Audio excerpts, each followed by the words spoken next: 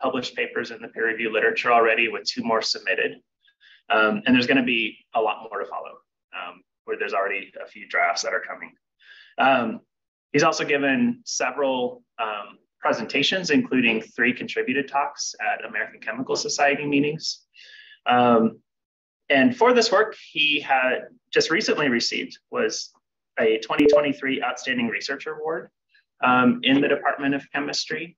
Um, Vinayak was also named in 2020 an Outstanding Teaching Assistant. So he received the Outstanding Teaching Assistant Award um, then. And that I want to just kind of highlight sort of in, in this last bit in that uh, Vinayak is an excellent teacher. He's an excellent mentor. Um, one of the things that I don't think he'll talk about today that, that he does in all of his free time um, is that he's developed a series of workshops that he hosts online um, for a worldwide audience. Um, so he really sat down and thought um, about these workshops. These workshops are geared towards teaching um, people how to do science sort of at the convergence of chemistry, of, of theory and modeling, and of computer science. Um, he's had these workshops live and then also recorded them. They're available on YouTube um, under the Chemistry with Code moniker. Um, Vinayak has 1,200 followers. So go and sign up. So I don't know, how do you say it? Subscribe, subscribe. Yeah, do, do the YouTube thing um, for, for Vinayak. Um, he also took that and uh, had a collaboration with the Center for Applied Energy Research and the Office of Undergraduate Research here at UK and hosted a two Saturday workshop for undergraduates and graduates to learn Python programming. So um, in addition to being an excellent researcher in the lab, um, Vinayak has also honed his skills as, as a teacher and as an educator. So um, with that, it's my uh, pleasure to introduce Vinayak. I'll remind everybody that this is the public portion um, of, of the defense. And so what we'll do is Vinayak will give his talk. Um, and then afterwards, the people in the audience can ask questions. Um, and then we will close the doors and, and hold the private defense. Okay? All right, this is the way. Ready? Good. Thank you for the kind introduction. Uh, without uh, further ado, let me jump right on to my dissertation. So my dissertation is titled Developing uh, and Deploying Data-Driven Tools, uh, Data-Driven Tools for Accelerated uh, Design of Organic sem Semiconductors. To give a gist of what you're going to see in, in this talk is the tools that I have developed which use computational methods, machine learning, AI stuff, and how those tools can be used by chemists, material scientists to assist them in designing uh, better organic semiconductors. The first, uh, the first two chapters of my dissertation give an overview of uh, organic semiconductors and computational modeling methods. Uh, what I'm going to do over here in this chapter is to use this and lay the foundation of uh, my research that you'll see in the upcoming chapters.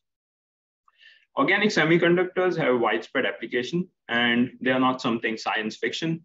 My, even my phone over here has uh, organic uh, light emitting diode embedded in it. And uh, there's few solar cells out there, organic based flexible devices. And they have wide applications. And the reason uh, the research in this field is quite uh, prolific is because you can change the molecular structure of, of, uh, of, of these uh, um, uh, organic conjugated molecules.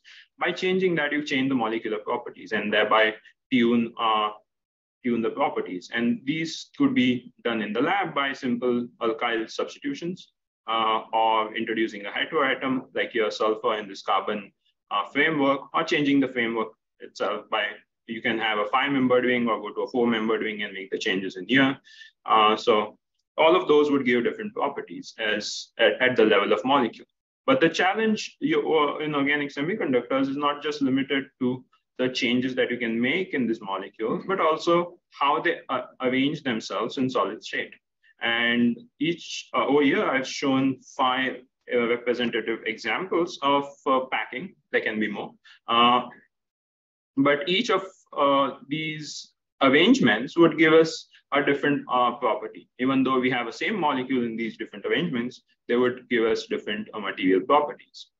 So the, the space to be explored is large. If we just think of combi having combining these uh, 16 molecules on top with, uh, with, with, the, uh, with the material arrangements at the bottom, we end up with 80. Not all of them would be possible, but it's a large space even with the small molecules. And uh, if you want to understand how properties, uh, the structure relates with properties, we need to explore a large material space. In, in the talk, I'll be referring to molecules. If, we, if when I refer to molecules, I mean a single molecule that you see over here. And if, if I mean material, it's molecule plus one of these packing arrangement. So uh, if we want to explore the space, we want to, uh, uh, let's look at uh, a timeline for that exploration. Uh, this is a hypothetical one. You would start with molecular design uh, in, in mind. You, you read articles and then come up with the changes that you can make at the molecular level. And in the lab, you might take a week to design, get the material, which is the solid state part of it with packing. And from there, again, a hypothetical uh, time timeline over here, let's say a week to get the material property out of it. And this is the experiment, experimental trial and error approach. And in a month, you would have maybe two uh, materials over here uh, and the property is estimated. But even for 80, 80 of the combination that I showed before, it'll take a while to do it. So can we speed up this process? There has been uh, computational modeling methods uh, that can be applied to it. Uh, you can use Newtonian equations uh, and uh, model it. But if you look at the experimental accuracy and the accuracy from molecular dynamics, it's a large difference over there uh, for, for electronic properties per se. And then let's say we introduce some quantum methods into it too and we improve the accuracy, but also it takes more time now to get to the experimental accuracy. Uh, to get very close to experimental uh, accuracy, we would need to use density functional theory, at least, which has some uh, compromise on time scale over here, but we get some somewhat close experimental accuracies. So if we use density functional uh, based methods, which uh, uh, which you might have seen if you read some uh, chemistry or computational uh, papers like PBE, B3LYP, HSE. Those are DFT-based met uh, methods that people use to uh, evaluate properties. So if we now change from experimental and uh, experimental trial and error approach to a computational approach, how would this timeline change? We could go from a material to its property in a day, because computers can do the job faster. And we, though DFT takes a while, it takes about hours uh, uh, to do it. And we can think of uh, a day, less than a day, you get material property. The challenge from uh, uh, going from molecular design to material is a little bit hard. And uh, even though we, we would use computational techniques, it's hard to find the exact packing that you saw over there. So it'll, it'll still take a week irrespective of whether you do synthesis in this hypothetical timeline or do it, explore it uh, with computations.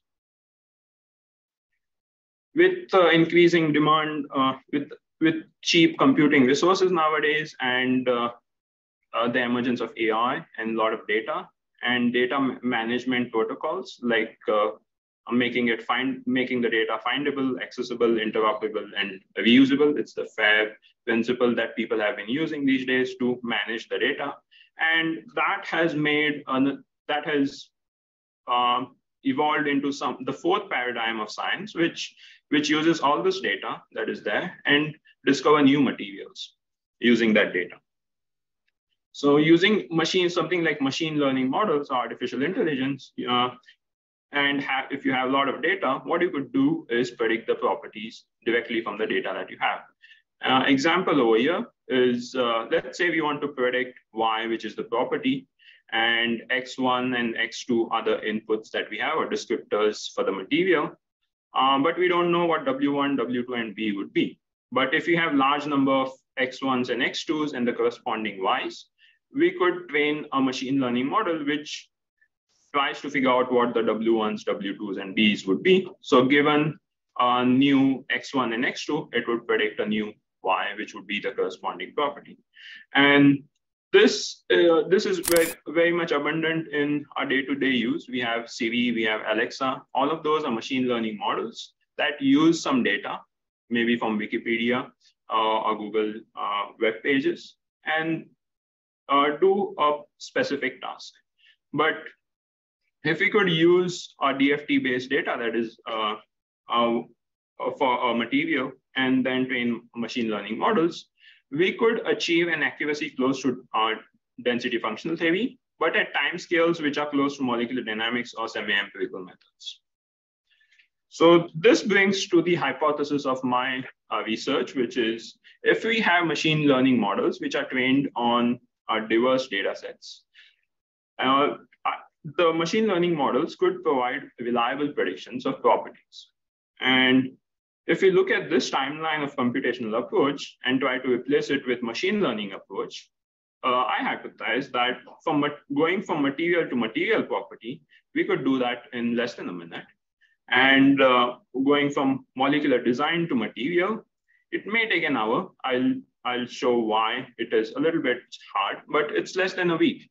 So we had the initial timeline of two weeks from experimental trial and error approach which we could essentially go down, which, which we could essentially bring down to an hour or so in uh, finding new materials and its property. So this is uh, what my hypothesis is, and I'll show you how uh, I validate that. For first, we need a lot of data to train machine learning models. And uh, uh, this, this chapter, I'm, I'm going to show you how that uh, data is generated. The challenge, uh, as, as I mentioned before, is going from material to crystal, uh, molecule to crystal or material and then to property. The first part is the crystal structure prediction problem, given a, a molecule predict the structure. The second part is material prediction.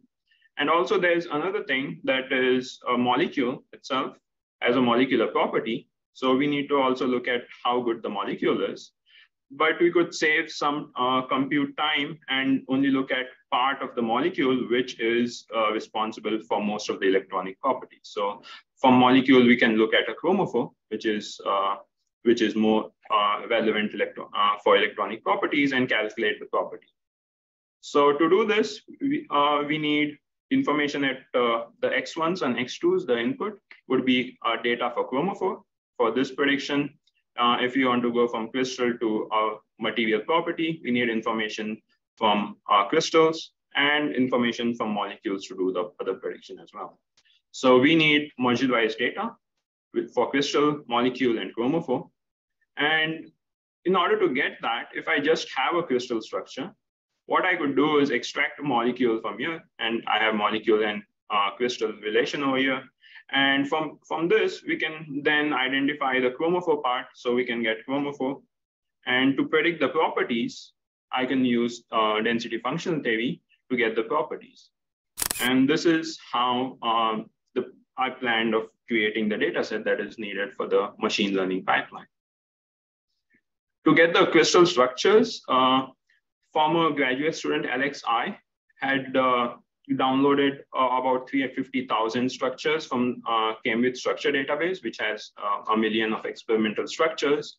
I used that data and then uh, scaled it down to around 56,000 uh, crystal structures, which did not have any metal atoms and satisfied a, a bit more stringent criteria for organic semiconductors. From there, for, for those 56,000 crystal structures that I have, it ends up with 47,000 unique molecules and around 38,000 uh, unique chromophores. And the smallest, the smaller chromophores look like this, just two membered uh, rings in here. But the largest can go up to 24 benzene rings in a molecule. And benzene ring is just the six membered ring. So we, we can have 24 of those in there. Now that I have those molecules, uh, crystals, and chromophores from here, I would need the data and uh, the materials property and molecular property. To do that, I uh, have designed this workflow where I can take the CIF file, which has the information for crystal structure, and clean it up a little. Make sure that there's no disorder when you determine crystal structure. You end up with some disorder, we move that disorder, make sure the structure is wide, no missing hydrogens and all of those things. From there on, I divide it into crystals, molecules, and chromophores, and run high throughput calculations on each of those uh, each of those parts to get uh, the data that, that I need. And all of this data is made uh, accessible through a web interface and uh, the workflows do incorporate convergence checks, make sure it is running okay. If there are any errors, try to fix it. And this brings to the first tool that uh, I would like to show, which is Ocelot. And Ocelot stands for Organic uh, Crystals in Electronic and Light uh, Oriented Technologies. This is a database of all the high throughput calculations and those 56,000 crystal structures that you saw. Uh, uh, it's accessible on this URL. Uh, and you can search for molecules in here. For example, it's searching for a, mole um, a molecule which is called pentacene. It'll show you a list of molecules, and then you can look at properties that you want for these uh, crystal structures. And this is all in real time. It's fetching the data from, uh, from the database and displaying it to you. Uh, and then you can even make plots or export the, export the data uh, to, to, as a uh, Excel file. That, that has descriptors for HOMO energy, which is highest occupied molecular orbital, optical excited states, ionization energy, and uh, about 2,000 descriptors uh, in this database. It took a while to generate it, as, as, as I showed before. DFT takes a while uh, to run calculations, and this was like millions of cal uh, millions of calculations, so uh, about 1.5 human hours. So you can even search for crystals with same molecule or same chromophore and it shows you like an e-commerce website where you'd have related products at the bottom. Uh, that feature is also in in in this uh, uh, application that I have developed. It's a web interface. So we started with this uh, timeline of two weeks, experimental trial and error approach. And if you use computational approach, we can uh, make this one day for material property, materials to material property. And uh, for molecular design to material, even computational techniques take a week or so. So let me just keep this as a time, as the base timeline for more uh, for the rest of the talk. So how does Ocelot over here change uh, the timeline? In fact, it doesn't. It just helps you uh, get more intu intuition about molecular uh, design. If you look at articles that are published, they may they may be at uh, they may may be using different parameters for calculation or experiments done with different solvents, for instance. But Ocelot provides all of the data which is consistent throughout. So that helps with uh, molecular design and uh, gaining some chemical uh, chemistry intuition or material intuition for design.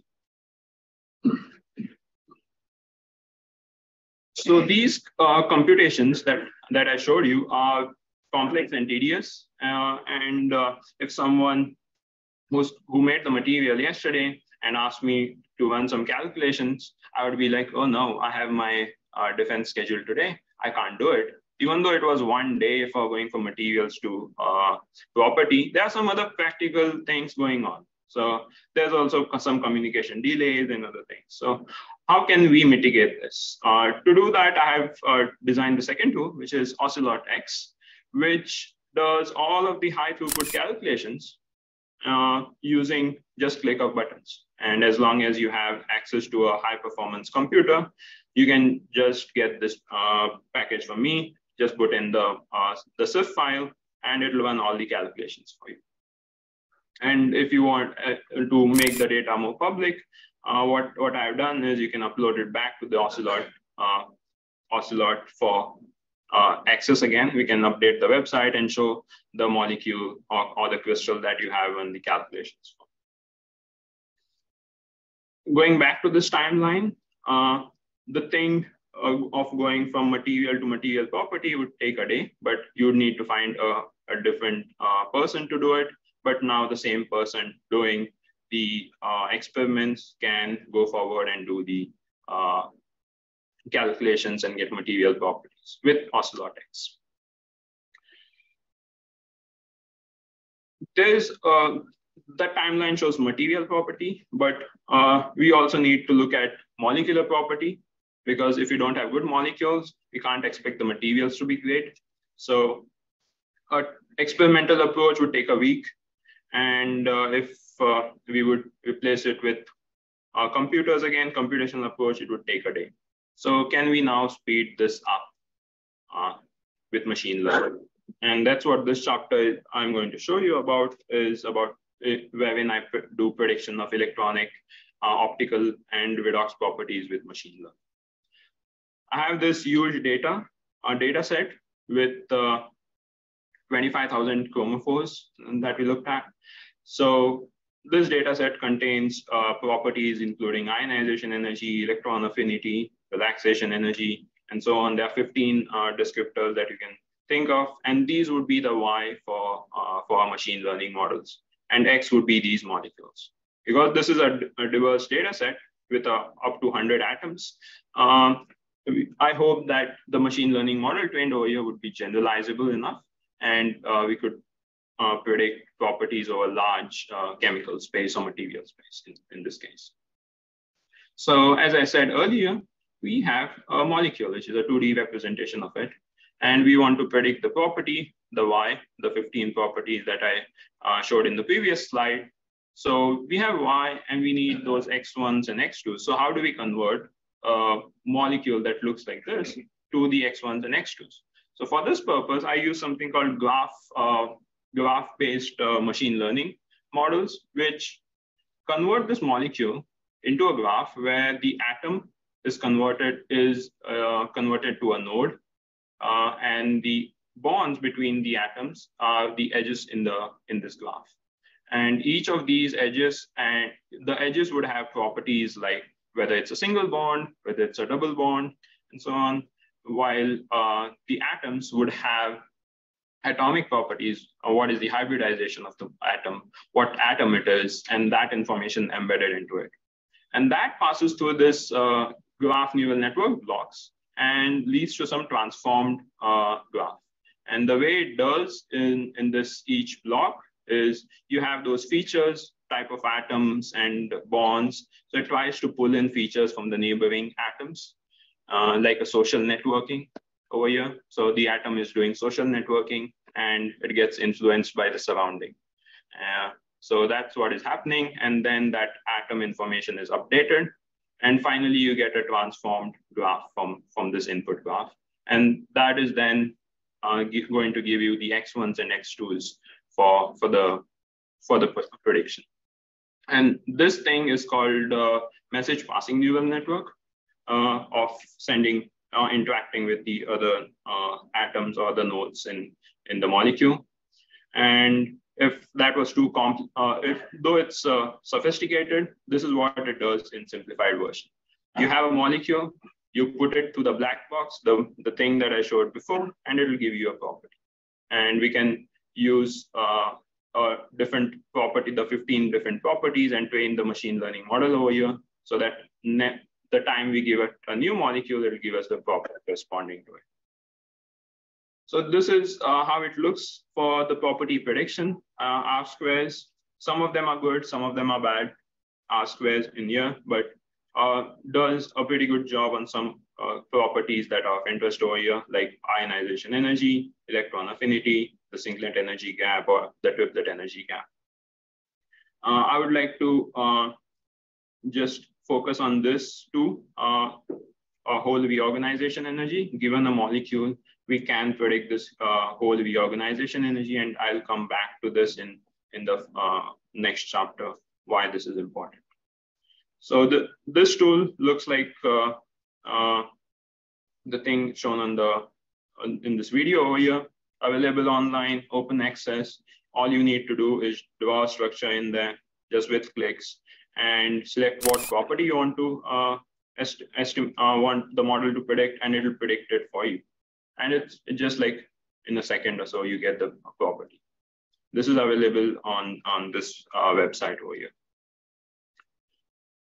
So uh, with this, uh, the timeline of uh, going from molecular design to molecular property, which would take a day, uh, now with the machine learning model that I just showed you would take less than a minute to get to the property. And how does this affect the initial timeline of uh, going from molecular design to material property? Uh, Ocelot over here provides data for molecules which are present in the Ocelot database, but what about molecules that are not present in the Ocelot database? We can use now the machine learning uh, uh, pipeline, which will give you molecular properties at, uh, for molecules that are not in the Ocelot database and help you uh, come up with new design principles. And also you can validate your intuition, whether adding uh, alkyl chain would be good or adding a heteroatom would be good. Now, now that I've shown you how to go from molecular design to mo a molecular property in a day, can we do the same with material uh, to material property? Uh, sorry, in a second, in a minute or so, can we do that for material to material property as well? Uh, one of the critical uh, pro uh, property uh, for organic semiconductors is charge carrier mobility. And what I'm going to show you here is using machine learning model to make those predictions quickly. Uh, for, for charge transport, we can assume that there's a charge on this molecule and we want to push it throughout uh, to the end and there's transport of, uh, of charge. And this can be modeled with um, uh, different theories or different um, or models that people have proposed. One is the hopping model. It hops from one, one molecule to the other molecule to the other molecule. Or this is more classical way of thinking or you can have the band transport where you have quantum mechanical way of uh, approaching this that the electron would just like tunnel through it or there's an intermediate one which is considering it hops and also it uh, has this band like transport and that's called transient localization irrespective of uh, uh what uh, model we use to uh, describe this charge transport the electronic communication between two molecules is, is critical and that's called electronic coupling. And if you do uh, DFT-based uh, estimates, it would take a day or so to get all electronic couplings in a, in a crystal. And from there on, we could use the hopping, hopping rate. We can calculate hopping rate, which would eventually uh, be used in uh, calculating hole, uh, the mobility. Uh, for this, you would see that all, most of the parameters are constant except the lambda, and lambda is the reorganization energy, which is the energy that you spend to move from this configuration where it's charge on this molecule to that molecule. And that's called reorganization energy. And over here, we neglect any uh, effect of the surrounding onto it. So that's the lambda, and V is electronic coupling. So if you want to uh, do these calculations with machine learning model, I already have a model as I shown in the previous uh, chapter where lambda was the reorganization energy. I did highlight that. So given a molecule, I can predict the reorganization energy. So what is now left is uh, getting the electronic coupling. So to get the electronic coupling, uh, it's a little bit more sensitive to positions in space. It's not just you have a 2D representation of a molecule, but you also have uh, a 3D uh, stuff to take into account. What, where is uh, where's the atom position in space? So this a machine learning model does the same similar thing as uh, the 2D uh, representation did, but now takes into consideration the positions and does the prediction this model over here is trained uh, on machine learn on, on, a data set which is uh, of or the uh, which has 438,000 uh, DFT computed electronic couplings, and there is uh, we do predict two properties, which one is HOMO-HOMO coupling, which is for hole transport, and LUMO-LUMO coupling for uh, electron transport. It could be used in estimating electron transport these models do have a pretty good R square value when compared to DFT uh, predictions and uh, mean absolute error of uh, 3 milli electron volts. And to validate how good they are in respect to DFT, what I've done is I've taken two molecules and moved them uh, vertically and uh, computed electronic couplings with DFT, the orange, and blue is the machine learning You can see the, the trend is pretty good beyond 3.5. and below 3.5 does not look so good. The reason being uh, these are, the data has only structures from experiments and experimentally it's very uh, hard to find structures where it goes beyond 3.5. That's because of the physics. It'll be not too close uh, to get these parts. But if we move it laterally, you see that the trends are pretty much well reproduced with machine learning. And getting this uh, whole, whole plot with machine learning takes about a minute, while DFT would take about a day for me to do all these calculations. So now that I have electronic coupling and uh, the reorganization energies from, from the molecular machine learning uh, chapter, I, I could essentially use that and do the prediction. Over here shown is uh, submitting of a zip file, which contains the molecular, the material, uh, it's the materials. And from there on, uh, the, the, code automatically extracts uh, the dimers and calculates electronic coupling. So this is the structure, and over here are the dimers, and there's the electronic coupling you see. And using this electronic coupling and the reorganization energy, you can plot uh, the uh, charge carrier mobility in different directions. And this tool is also open access, and you can click on these view uh, 3D buttons, and it will show you the two molecules that it has calculated coupling. Using this, I've screened uh, over 60,000 crystal structures from the 350 uh, things that we initially had from that I initially got from uh, former graduate student Alex I, and from there on, uh, this screening, as it takes less than a minute to do, uh, I've I found out about 40 potential candidates uh, for organic semiconductor application, which have uh, charge carrier mobilities greater than that of amorphous silicon. So I've shown in this chapter how we could go from material materials to material property uh, which took a day for uh, com traditional computational techniques. With machine learning, I can uh, get the prediction within a minute. So the only part left in this timeline is uh, going from molecular design to material. And that's, uh, that's chapter six, uh, where I'll show you something about interatomic potentials for crystalline organic semiconductors. So the challenge in going from molecule to uh, crystal, uh, generating structure in general, is the geometry relaxation part. And the relaxation is, uh, is what needs a large number of forces. For example, if, if this is a molecule and we want to, let's wait for a while, it's a GIF, it'll load. Let's see. If we randomly place atoms in space and we ask it to relax, and we use density functional theory, what it's going to do is it's, it's going to calculate forces on each of the atoms and try to move it in such a way that forces are minimized. And this takes a lot of time. This over here is a, a way of getting a relaxed molecule. But if we imagine going, replacing the atoms that you saw over here with molecules itself and placing them in, in all these uh, positions and then relaxing them, it'll take a while to do all of this. And that's why DFT-based relaxations takes uh, take like few hours to days and hinder the process of uh, getting uh, a crystal from molecule. Uh, uh, it, will take a it'll take a while, like a, a week or so to do it. So, oops.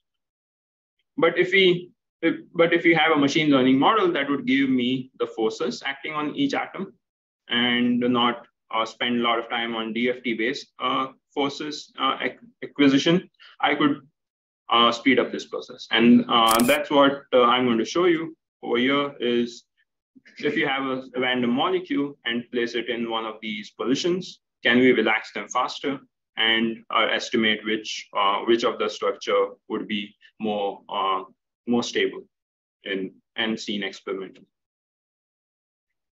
For this, I use a machine learning model, which is again similar to, to the 3D uh, message passing uh, neural network that we saw for electronic coupling, but it also considers periodicity over here and gives me energy, forces on each atom, and also the stress on the entire cell. This model is trained on 2.5 million crystal configurations. And uh, the results for these look uh, pretty decent with uh, energy predictions of uh, 0.023 electron volt per atom. And this is uh, less than the thermal energy, which is 0.025.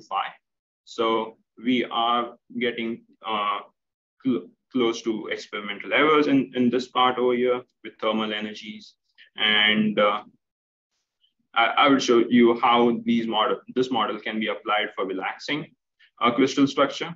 If we start with a crystal structure of TIPS pentacene over here, uh, these are the lattice parameters and the volume is 961. If I use density functional theory, it relaxes the structure. Uh, as I showed for a molecule, it does the same thing with crystals. And this is these are the parameters that I get. If I use machine learning, I get similar volume close by, uh, so close by this alpha, beta, gamma. I think it's not showing well.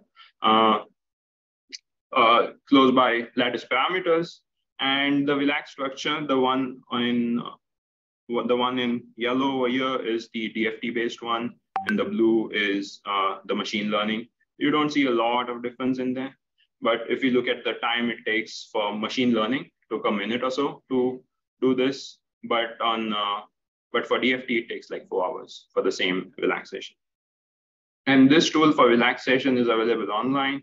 Uh, over here, I show generating one random crystal structure, uh, which is, the, the video is speed up four times. So you'll see it happening pretty quick. Uh, you have a crystal structure. I generate one random crystal structure, and we can relax the crystal structure. Though this is four times speed up, you'll see it, it is a little slow, but it takes less than a minute to relax the structure and give you uh, a relaxed structure over here, and also the energy corresponding to it. So if you want to determine what would be the most stable uh, crystal structure, it would it would involve relaxing maybe hundreds or thousands of these initial geometries and finding out which one is uh, of the lowest energy, and that would be the stable structure. So, uh, so going from molecule molecular design to materials with the machine learning model I just showed would reduce this uh, this time from one week and uh, probably to an hour or so if we have to scan a large number of uh, initial geometries. So this is, uh, this is how the timeline would be shortened. To conclude, I've shown you how uh, we can use machine learning models to predict molecular properties, like uh, material properties, and also relax the structure. Uh, and this validates the uh, initial hypothesis that I had that if we have large enough and uh, diverse data set, the machine learning models could uh, actually do a pretty good job in speeding up the process. So I started with this initial timeline of two weeks to get to property, but with the tools that I've designed, we could accelerate the discovery and come up to an hour or so to gen, uh, come, uh, reach uh, to material property from molecular design. The Ocelot database and models have widespread users now. Uh, it's about 2,000 users who are using it from 48 different countries. So what's in what's uh, what's in the future for Ocelot? Uh, right now, uh, we I would be interested in generating equilibrium uh, crystal structures. Uh, I just showed you one structure and how, how we could relax it, but we could do that for thousands of initial structures and find the you know, most stable one and try to include dopants uh, interaction with device surface, uh, device substrates. Right now, everything is in pristine, uh, pristine form, and there are no dopants. And it would it would be good to add this validation step in in between. Uh, right, all I've shown is data, model, and predict, but uh, use experimental data to validate it, and then close this loop would be the uh, the thing to go about for Ocelot in future. All, these uh, these are the publications that have resulted from this works at uh, and these are at various stages of publication. Some of them are published, some of them are under revision, and some of them submitted. In addition to uh, what I've shown over here, there's a lot of uh, fantastic collaboration that I've been involved with and other projects.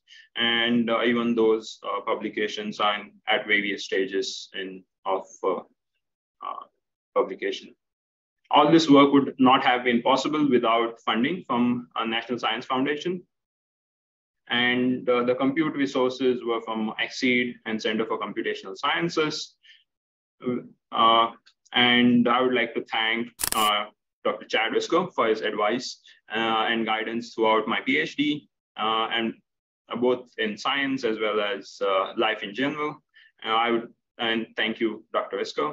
Uh, I would also like to thank my committee members, Dr. Anthony, Dr. Beck, Dr. Graham, uh, for for the advice and making sure that I'm on track for my for my PhD, and uh, Dr. Johnson for agreeing to be an outside examiner for this uh, defense. There, are a lot of collaborators who I worked with uh, from NYU, Stanford, Princeton. I would like to uh, thank Dr. Baskar Ganapathysubramanian from uh, Iowa State University, who has been of tremendous support for the machine learning projects that uh, I've started working on and most of the things that I've, you have seen now. Uh, a big thank you to computational staff, uh, Vikram and Bhushan, uh, without whose help all these calculations or setting up of the website would not have been possible.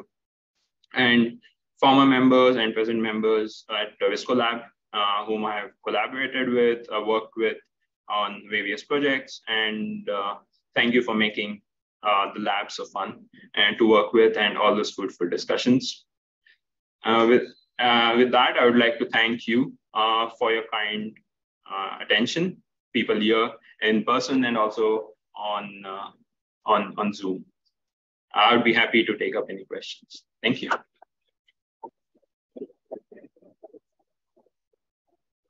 Okay, questions from the audience? Yeah, so that's pretty good.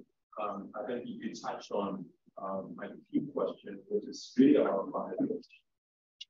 Um, what you envisage when it comes to validation with experimental companies? So that's really critical with all the stuff that you uh, so the question is, uh, how do I validate it, and what experimental output is is required to validate uh, all these things? What I Okay, so what are the benchmarks in validating these uh, models? So uh, what I've done for validation is use internal validation. So the data set, what is generated is split into a training data set and a testing data set. So I train the model on the training data set, which is uh, a big chunk, like 80% of the data. And the 20% of the data, which, uh, which is assumed that it's as diverse as the training data, and from that, the, the values that you have uh, that I've shown, the R squares, the mean absolute errors, are on that part, the test part of the of the data set. That model has never seen before. And that's the validation that I've done uh, for these models. But I envision uh, for experimental data, I would envision the similar properties like what is the absorption maximum, for, for instance, uh, singlet uh, energies that I've that that you see here, or maybe ionization energy, some uh, uh, electron spectroscopy for that to figure out what the ionization energy was. Some, some data like that would more validate uh, these models uh, for, from the experimental side of it. But what I have done over here is use internal uh, data, which was not seen by the model before. So I want to some of the experimental values, for instance, uh, energies, for instance, um, of some of the material that are in systems, right?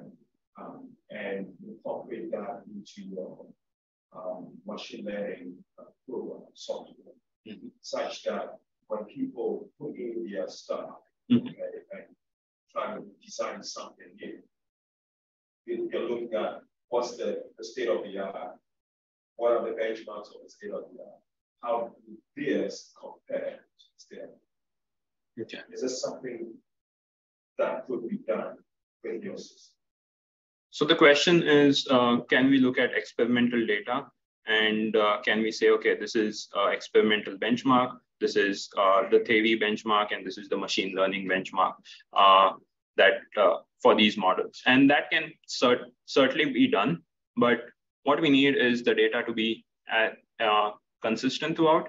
So if we have some data, maybe in maybe one solvent, chloroform, all that some data is in chloroform solvent, some is in acetonitrile, and some is in some other solvent in that case, uh, as long as as the property that we are looking at does not depend on solvent, it's great. We could use that data and uh, use the models that we already trained and tweak it, tweak it a little bit and retrain it on the experimental data. So now the predictions would be close to the experimental data. If uh, the thing that I showed before was a time, the accuracy and time it was close to the DFT data because the input was DFT data. If the input was semi-empirical data, the accuracy would be lower because it's same as uh, semi-empirical. But if I have consistent experimental data, we could do that with the experimental data as well. I hope that answers the question. Yeah, that, that's fair.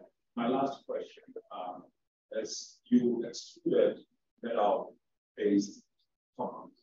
Mm -hmm. Yeah. So the question is, uh, we have excluded metal-based compounds and why? Uh, so out of 365k compounds, mm-hmm. you picked 56k, mm-hmm. and uh, more than half, right, were excluded. I mean, I can see why you did that. Mm-hmm. so, but we can and we can talk. so okay. All right. Yeah. yeah. So so the so the question is why did we exclude metals? Uh, and go for discard more than half of the data that was initially scraped, which was 36, uh, 300,000 plus uh, structures, and we just ended up with 56,000. The reason for that is the initial thing that we checked was make sure it had uh, a 3D geometry and stuff. But if the 3D geometry had missing hydrogens in it, the crystal structure was not good enough in that case. Uh, we had to discard it because we are doing computational stuff on that. And if we have missing hydrogens, we don't know where to add hydrogens in a high throughput way and make sure that the crystal structure as the is is good enough for these calculations. And the other thing that we did over there is the initial thing only looked for I think one component systems, but uh, one component meaning there's only one type of molecule. But it so happens that if we go uh, and screen it more thoroughly, we have solvent molecules in there. So we don't want solvent molecule because it creates a little bit complications for us to uh, deal with. Like if we, we are right now looking at pristine part of it, right? So just pristine uh, uh, crystals. So those were the other things that messed up with that. And then we have disorder in the system. And we need to uh, all of this is in a high throughput way. So the code needs to parse that, make sure that disorder and everything is removed. Sometimes the code fails. So all of these things uh, are the reasons why it came to like 56,000 from uh, 300 uh, thousands. But you're also talking to a metal coordination chemist if he wants to know why you don't have gold. Other questions?